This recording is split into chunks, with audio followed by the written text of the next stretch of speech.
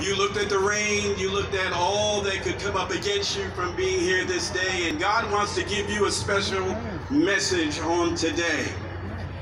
America must survive. America must survive. You today have shown commitment, you have shown organization, and you are determined.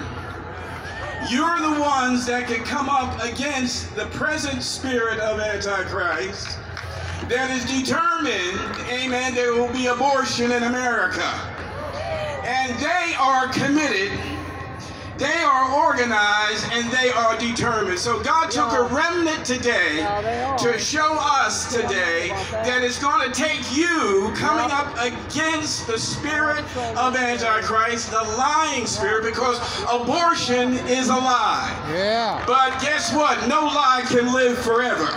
All right? Truth crushed the earth shall rise again. Always remember, you're right and they're wrong.